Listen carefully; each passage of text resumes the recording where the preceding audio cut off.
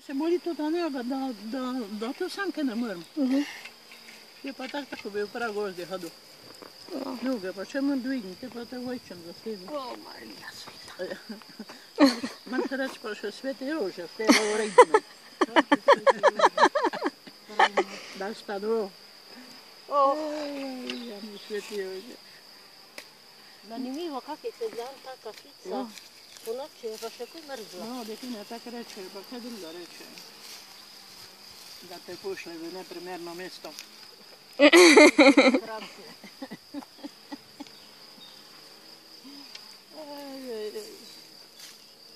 Se ena mene pomotoma spip, a, a ni spipa, ne.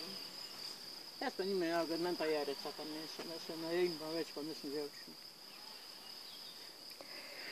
Kaj krompir očuti, ron te pa že ko za jest. Pa seveda, Jaz ne edni garno s krampem, s parstom, znaš. pa imam dosti.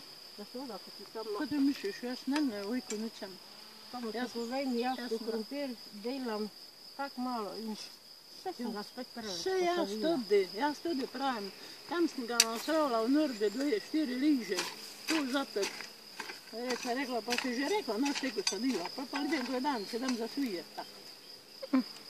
Tukaj ne pojem. Ja, pa veš, kako Če kjer odnese, tako lahko, Kako deklerije. je prazna zemlja, ti pa misliš, Ja, da te pa lepa zemlja, veš, koliko krasen krompir imam jaz. Tu je, tu je pa ameriška salota. Ja, to pa. Eh, sad se človek piča, pa piča.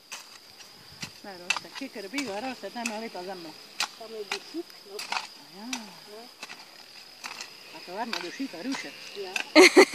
Tam lahko pa te pobije že pri kruhi, tvoj pobič.